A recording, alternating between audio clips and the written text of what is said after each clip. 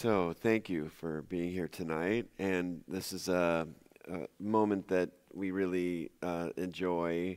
We call it uh, Stump the Cantor. So, whatever questions you have, we'll take the cards, and maybe Beth can help us. Thank you for being here, too, Beth. And we're going to come down.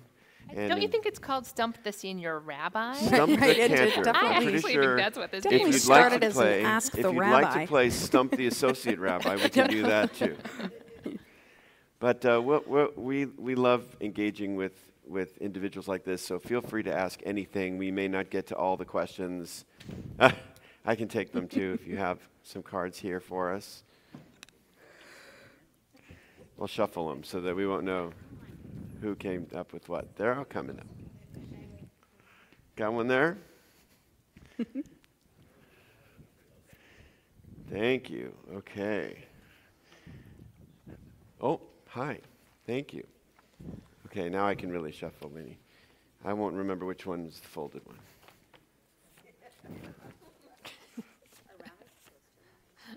what? A rabbi's supposed to lie. Oh, wow. Okay. Wow. Okay. I'm, I'm going to get to shuffle these.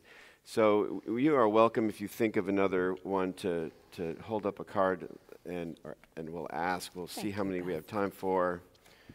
Thank you very much. Okay, let's see. I saw just one that came in that said Cantor on it, so I'm going to Oh, give that to you. I Thank haven't you. had a chance to read.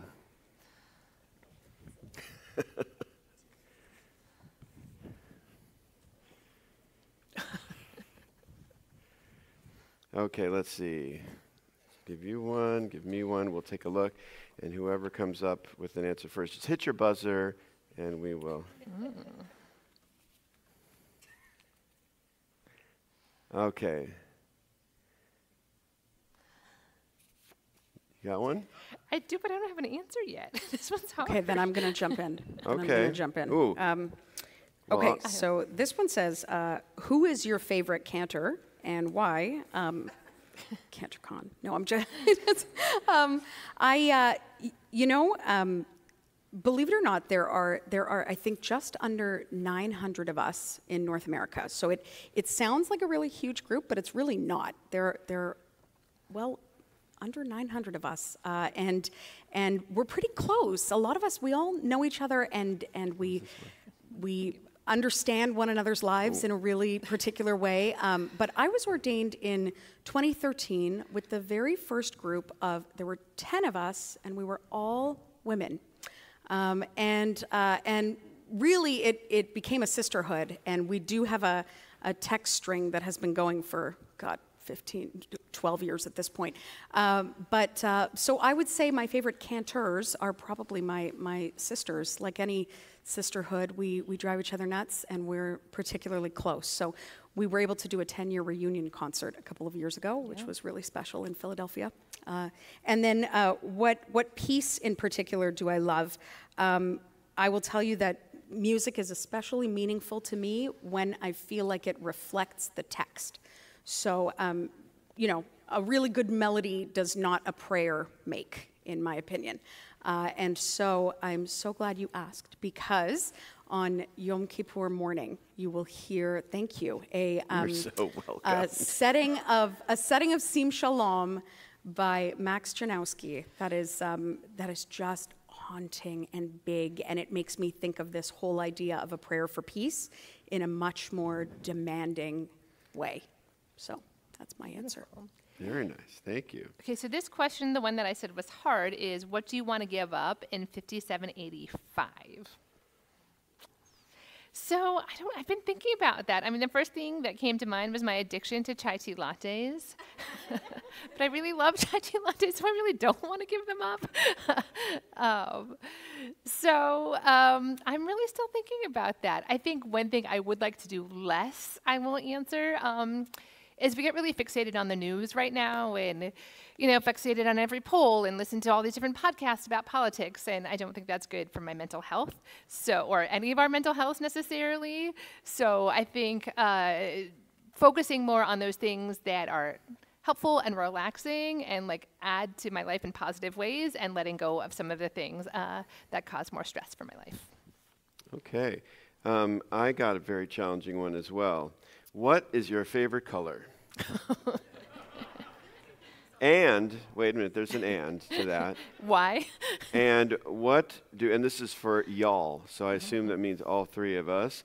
Um, the best way to make the High Holy Days a meaningful experience outside of services. So I'm going to take the first one, you answer the second one, okay? My favorite color is green. I like nature. I like the point, I like the spot where the blue sky meets the green trees, just that one spot. I'll answer the second one too, because I can't help myself. Um, the best way to make the High Holy Days a meaningful experience outside of services. You know, I'll answer th- this way. During COVID, uh, there were certain there were certain pieces that were very, very challenging, of course, for all of us. But there were also these really interesting moments to make meaning that I don't know that we'll ever have again. And I think, in particular, about the moment when, leading up to those first high holy days, we face this challenge of like, okay, well, so people are going to be in their homes and they're going to be hopefully tuning in. We were in this space and it was empty. Uh, Pete Smith Heisler, our executive director, reminds me that his first high holidays, he was the only one in mm-hmm. this space. Mm-hmm. And there was a big TV camera, and it was just not at all what we had, had you know, trained for. Let's just put it that way. Um, but we realized that we wanted to offer our congregation a way to make this meaningful in their home. So, aside from just watching something on the screen, we offered this really interesting program where we talked about making a sacred space in your own home or wherever you were. There were times when, especially during COVID, when we would be offering a class or something and somebody would be taking a walk while they were on the Zoom call with us, and we would like watch. I remember one who was who was a little bit kind, and he turned his phone this direction so he could hear us. But what we were seeing was his walk through the woods um, while we were um, while we were learning together. I think that there are ways to, that to make this very meaningful that have nothing to do with sitting in the pews. It's about what you do during these 10 days, especially. So, number one, I would say, what is sacred in your life? Is it taking a walk? Is it actually taking the words of the prayer book and trying to integrate them into your life? Is there a way that you want to maybe even, uh, maybe you take a picture of one of the prayers that, that strikes you tonight, even, and you sit with it during the 10 days. Maybe you put it up somewhere so that you're really thinking about it. This prayer book, if it's anything, it is dense. There is so much in this prayer book, and whether we're doing a reading on the left or reading on the right, or there are notes on the bottom, and all of it is literally thousands of years of wisdom that has emerged in this book that we're going to kind of flip through and we're going to skip some pages and we're not really going to get to the whole thing. So that's the first part. What, what can you do on your own that's going to make these days meaningful? And I don't think it needs to be in this space. The other thing I would say, of course, is that the 10 days of repentance, that's about this very personal inner work of actually making contact with the people in your lives with whom you have tension and conflict, actually trying to make repair happen. And without that step, I actually don't know that what we do in this room means very much at all. So I would argue that that's the two, two suggestions I would give. Do y'all have anything? What's your well, favorite color? Uh, my favorite color is pink, especially, especially like we know this about Rabbi Jordana. fuchsia. I'm not wearing any right now, but I do wear a lot of fuchsia and like fuchsia. Um, I think for me, each High Holy Day, certain things really hit me, and um, especially with everything that's happening in the Middle East right now, the prayers for peace this year, I'm finding very powerful and very meaningful. Um, and so I think I also encourage you, when you're in this space, to really focus in on some of those prayers that are especially hitting home to you. Um, but very similar to what Rabbi Brett um, just said, I would say it's really also about doing that work and actually apologizing and not to knock it, but I know some people just like put on Facebook, like, hey, if I've wronged you in the past year, I'm sorry. but I don't think that, I think that follows like the letter of the law, not the actual intention. I don't think you can apologize to a thousand people in one fell swoop. It is really, truly sitting down with someone and saying, I'm sorry, and opening up a conversation about what you can do better. And when you do that, that I think is what makes these days really powerful and really meaningful and important. Um, I think that I get um, I get a bit more of what I'm going to call a an on ramp to the holidays because I start choir rehearsals like months ago. So I feel like I've been sitting with the music and the cue sheets for for so long um, that that for me, uh, the minute the choir's together and I just start hearing ba ba ba ba ba ba, it starts to feel real.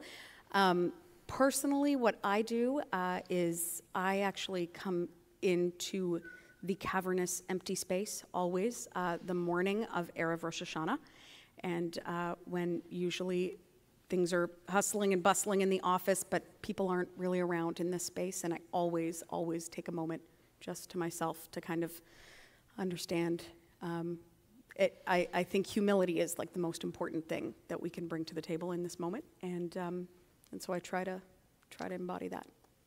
Yeah. yeah. Thank you. Oh, and my favorite color. I, I'm, I'm a purple person. I really am. Yep. Um, did you answer one? Um, I did, but I can start. Okay. My next one is why did you? How did you know you wanted to become a rabbi slash cantor? Um, and as some of you know, I grew up in a very Jewish home. You know, my mom worked for the URJ for literally like 30 years, and my dad is a judge, so he had very Jewish values. It was just kind of always like the backdrop of my life. I was you know, this is not going to be surprising. I was a youth group kid. I was a camp kid. The Jewish holidays were huge in my house. We always had people over for for Shabbat and all the high holy days. Literally, I've been calling my mom the past couple weeks, and she's like, "Oh, I'm really busy. I'm baking right now. like, I can't talk to you." And I'm like, "I get it. Believe me." Um, but still, to this day, my parents have just tons and tons of people over. We don't have a large actual biological family, but we have this enormous kind of chosen family of people who've been uh, literally celebrating the holidays with my family for, for over 50 years. Um, so it was just always this backdrop of my life. And I went to Kutz Camp, the URJ Kutz Camp in Warwick, New York, when I was 16. Um, and I remember sitting around and we're talking about and the lake, and we're sitting in this pagoda and we're talking about God. And I'm like, this is what I want to do. This is what I want to keep doing with my life. And it was that spark. And then like my path kind of meandered. I went to college, I majored in other things, and you know went to Scotland and got a first master's degree and blah blah blah. But really, it was on um, on our honeymoon that my husband Luke said to me, he's like, "This is what you keep talking about. This is what you want to do. You know, go learn your Hebrew and take the GRE and and go to rabbinic school." And so. Um, his blessing in this role meant so much to me because this, this role has a huge impact on his life and my kid's life, and the fact that he was supportive of it uh, really meant the, meant the world to me. So uh, that is the long, uh, the short version of the story of how I got here. Okay. Um, why don't we use the organ anymore? So I, I have a, I, I have so much, so much to say about this. I will tell you. I'll tell you. Um, so the first thing uh, I want to share is that I am. I love to sing. I do, but I am much more of a music director. Those of you who know me know that I've, I've some of you may know that I've got a, a background in, um, in choral and orchestral conducting, that that's what I do, and, and I have always heard um, harmonically. I hear in layers and I know exactly what things need to sound like and, and what voice is missing at what time, whether that's an instrument or, or a, a certain color. I kind of think of it like a, a painter looking at a canvas, just knowing what needs to be there. Um, I will share that uh, First and foremost, you should know that music in uh, the reform movement is a pendulum. It's a pendulum that swings. And throughout the 80s, it swung very, very hard towards camp music, which uh, introduced the guitar and did away with the organ and more classical music. The organ is not an improvisatory instrument, and most of our music is improvisatory. What do I mean by that? Um, 99% of what you heard this evening is Matt's creation. He invents it all. It's not written on the page. He has chords written down and he makes it up. And often, the chords he has written down are not even the chords we're doing because we're doing it in a totally different key, which is why I auditioned 27 accompanists before we found Matt, right? So you should know that, that it is, it is, it is an art form that and and if you if you come back next week and we do any of the same settings it's going to sound completely different. Because every time we sit down that's what it is. Now the organ is a classical instrument. Um, the piano is as well but the organ is not improvisatory. Much like a violin you cannot simply look at a chord chart and just invent what you want on an organ. The other thing i'll say is that i absolutely love the organ in the right setting so if you have ever been to Trinity, if you've ever been to Trinity Episcopal Church, there is a stunning pipe organ in a stone um, enclosed building with, with stained glass windows, and it's, it's glorious. It's some of the best Bach I've ever heard in my life. I'm partial to Michael playing it. Um, it's pretty beautiful. And also, um, our instrument is an electronic instrument. Uh, much like we have an electronic keyboard down the hall that we could be using, it's a wonderful instrument and it, it serves the purpose that it does. Sometimes on the high holidays, Michael will play um, in the afternoon for people to listen to, but it is not this, this setting um, as a music director is not the setting for we, we don't have a pipe organ. I think that's that's a really important thing to state that we don't have a pipe organ. So um, it's, it's funny because those of you who, when I said, you know, in the 80s, the music kind of swung towards the camp movement, there were some of you who kind of, you know, shifted a little bit, and there were others who got super excited. and so, what I want you to know is that um, music is a glorious pendulum that swings back and forth, and I think it's so important to find space for all of it. Um, I do intentionally, IHC Music, we have concerts every year that we actually host at Trinity so that we can use that glorious instrument in a space conducive to it. So, um, yeah, that's my, that's my answer. I will tell you that when I first started at um, Temple Emmanuel of Edison, New Jersey, there was an organ in the corner that was broken. And so the rabbi said to me, We have to figure out how to donate this. We have to get rid of it. And I, a brand new cantor, Googled where to donate an organ. You should not do that. that is not, that is not, what comes up is not what you're thinking of. Yeah, so it's not smart. Yeah, that's a true story. Yeah. Wow. So. Well, I can just not smart. give Matt a shout out. Uh, that uh, one thing I really love so much about leading here with Matt is he's truly, I feel like, a partner in leading services with us and really Absolutely. helps us set the mood and the tone and really understand sometimes what we say, um, even when we don't necessarily understand it properly ourselves. But you always pick up the mood, and that is so appreciated and a real talent. Um, I'm going to jump in with this question. Um, so there's two versions of it. So someone wrote, talk election. Hmm.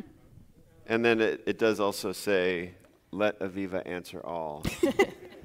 well, she can be our expert on the election, all. being Canadian. Yeah. I... But I'm going to take it first, though. With some churches getting political, do you sometimes feel it necessary to get political too? Do religious mores and ethics mean anything anymore? So I will argue that there's a huge difference between talking about politics and being political. And I think that if we do our job well, that we are always being political. That's very different than from saying we're going to talk about politics because politics is so often local. You know, do we want to have a conversation in our congregation about which candidate to vote for in the next election? No, we actually are not allowed legally to do that. But are we going to have a conversation, many conversations in our congregation about the ethics and the values behind those decisions? What is it that is on the ballot right now, even nationally and locally too? So, for example, is there a Jewish perspective on the issue of immigration? Yes. Is there a Jewish perspective? And I'm not talking about Reform, Conservative, Orthodox. I'm talking about a Jewish perspective.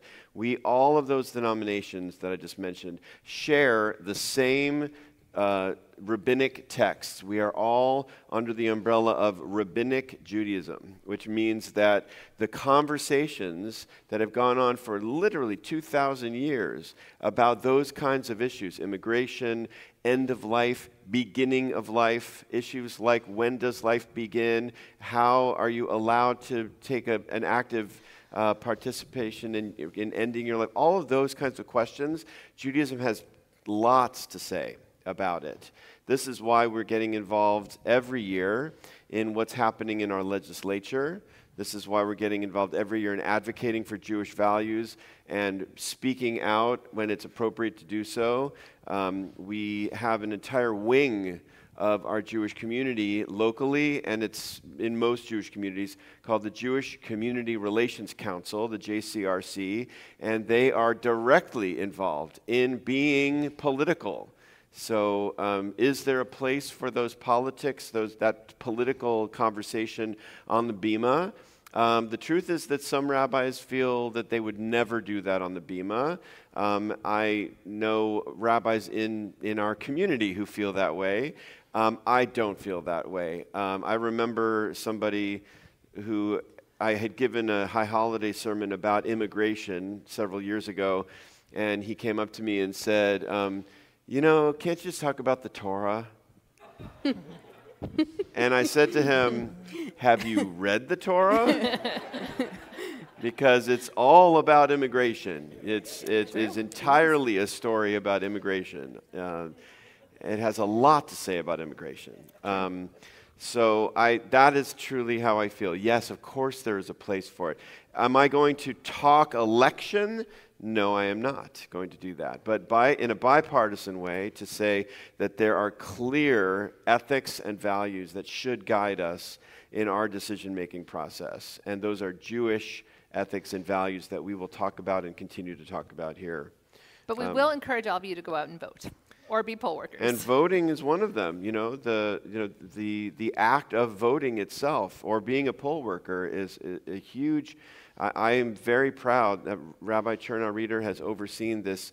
Uh, for our congregation, and that we have been much more visible and much more active this year in this election than we have in the past. That's, that's a huge uh, statement. And that has nothing to do with politics, it has to do with being engaged in the political system. I will add one thing to that, and that is. Well, it um, says let Aviva oh, answer oh, all. Well, so let me answer all I, of it. Go Great. ahead. Um, I, I'm going to say that um, I believe that where we as a movement, the Union for Reform Judaism, um, have a chance to be better is that it is our job, and it must be our job, to be clergy and to be a movement for all and what I mean by that is that um, oftentimes, and I experienced this in particular on the coast, it can be very easy to, to find yourself in a political vacuum, to preach to the choir, as it were.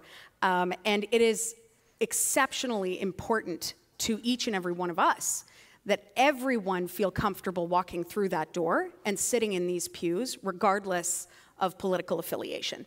And so I think that, um, that we need to be better at being a movement for all. Um, and I think that, uh, that we uh, often talk about the importance of acceptance and inclusion and tolerance, and oftentimes have the hardest time accepting those with differing opinions. Um, and now, more than ever, I, I think Jews have learned that we ought not to be divided. So, um, so that's that's my my stump yeah, speech. Just just yeah. one little add-on piece to this, and then I want to get to another question. Sure. But um, as a as a sort of add-on to that, some, uh, someone wrote, um, "What sermon would get you fired?"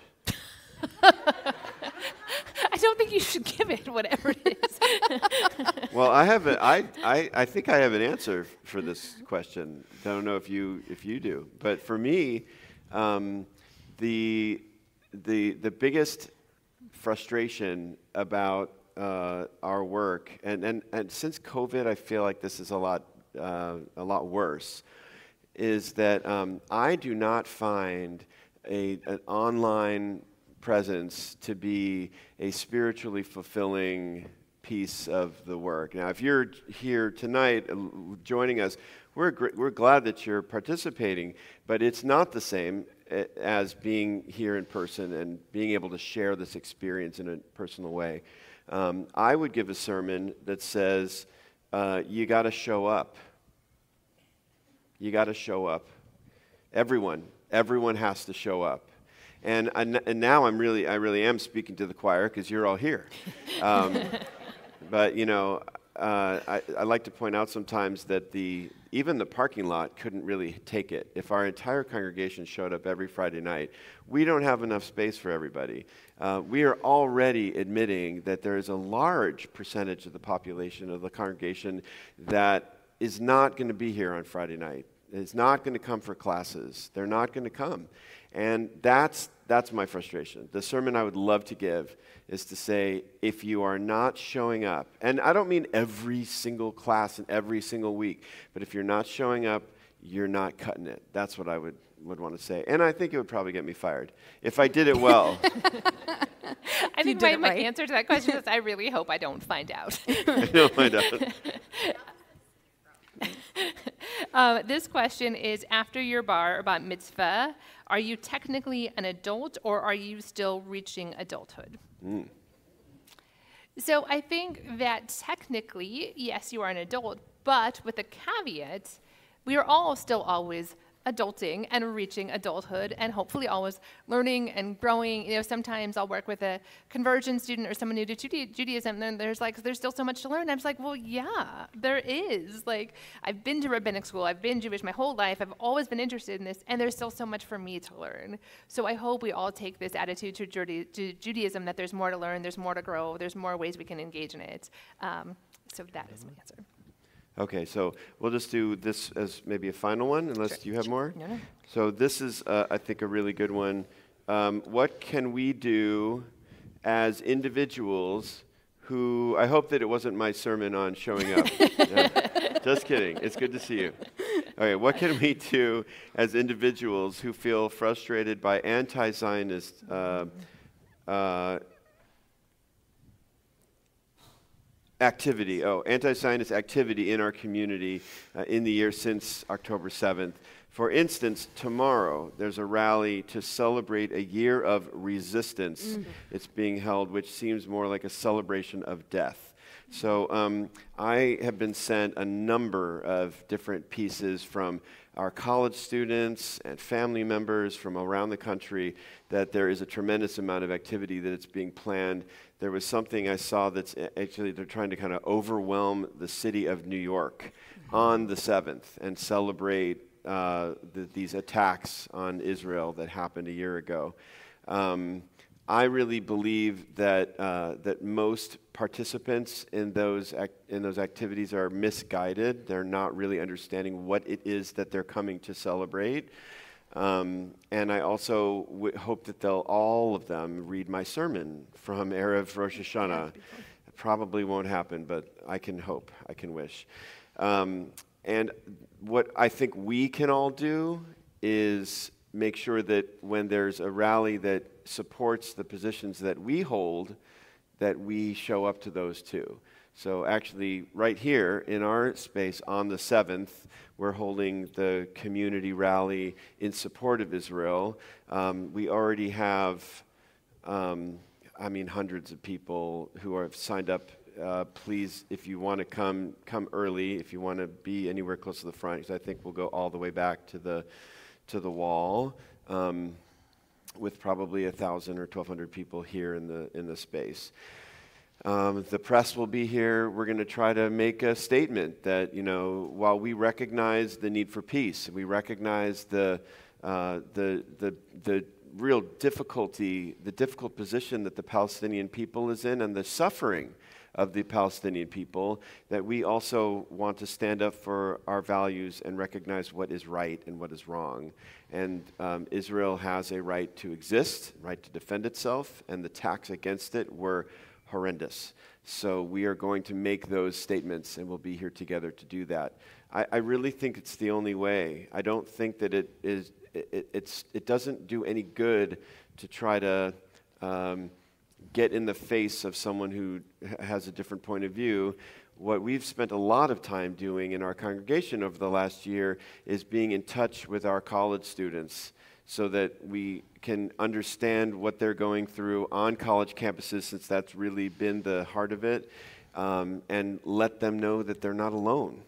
And if we can all feel that way too, I think we'll have done something important. And I think to add into that is that it is also it's college students, but it's also I've heard from parents of kids of all ages, and then also adults too, who used to have spaces that were safe and comfortable for them, but that don't feel that way anymore. So I think the first thing is just acknowledge how hard this year has been. It has been so hard, and it remains hard. Spoiler, talking about that on Yom Kippur, so just so you know. But really, it's been really, really hard. So I think the first thing is just to acknowledge that, and that is real, and to talk to each other about that.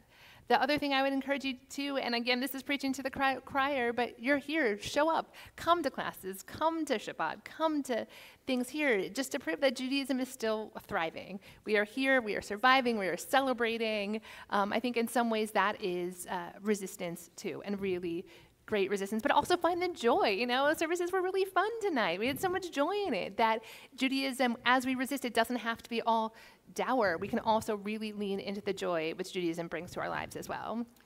And I think also, and also remember that this is not universal. You know, I don't know about you, but I've had so many texts from people of all faiths wishing me Shana Tova and wishing good wishes to my family. So I think also sometimes we put everyone else into a different category that everyone is against us, but that is not true. And remember that we do have, I know I am, and I know many of you have relationships with people of all sorts of different faiths. And at the end of the day, most of us all just want peace and we all want the same things. And to keep that in mind uh, when times are tough. Thank you. I'm going to uh, I'm going to lean into a dvar acher, which is a, a differing opinion here. Okay, what can we do? Um, what I have chosen to do is read, read as much as you possibly can of what they are reading. Become informed, hundred and ten percent on the differing opinion, because it is not until you understand what is forcing people to act and, and engage in what they are doing. It's not until you deeply understand that that you will know how to combat it. So the, more, the, the moral clarity is so apparent the minute you take a deep dive into that world. Dive in and get yourself a real understanding because the defense mechanism that we need to engage in is a very clear offense of what it is with morality, right? This is, this is, not, um, this is not Israel's war. It's not. Israel is the first front, right? So I think um, that for me personally, becoming highly informed so that when I engage with someone, I can do so respectfully and extreme, in an extremely educated way that can say, actually, I understand that you've read that, but let me just clarify why you're incorrect You're in saying this. that the first front is Israel, but that it's a war against the West. It is. And America. It is. Yeah. I mean, they've like when people tell you who they are, believe them. Like, how many times do we have to be told that this is a war against Yeah. the West? It's very clear. So, um, and and Israel is is, I mean, it's it's the only thing standing between them and us right now. So I think um, I think it's it's it's really important to read everything you can, watch everything you can. Um, maybe not during the 10 days of awe. Let's, you know, let's cleanse our souls a little bit. But but just be be prepared and be educated. Be the most educated voice at the table, right? Because then you're not just talking like you are you have moral clarity and no one else does. You are speaking from an extremely informed opinion and you can explain why everything that has been fed has, has come from certain places. You know, I, I think uh, the more we know and the more we can share, the more we have access to quickly, um, is going to help us. There was a fascinating article in the National Post this morning, um, which is a, a Canadian newspaper, about Canada's Jews and whether or not they should flee. And they are talking to their rabbis about how do we know when it's time, right? in Eastern Europe, there were those who got out and those who didn't. How did they know it was time? And Canada, Canadian Jews are having these conversations on a daily basis. Um, and so I think the more we, the more we read and the more prepared we are to combat misinformation with informed um, clarity is, I, I think it's extremely important. I think this is, this is the, the war of our lifetime. Sorry, Yeah. but I do. Yeah, thank you for that. Yeah. Uh, and, and thank you for the questions, the engagement.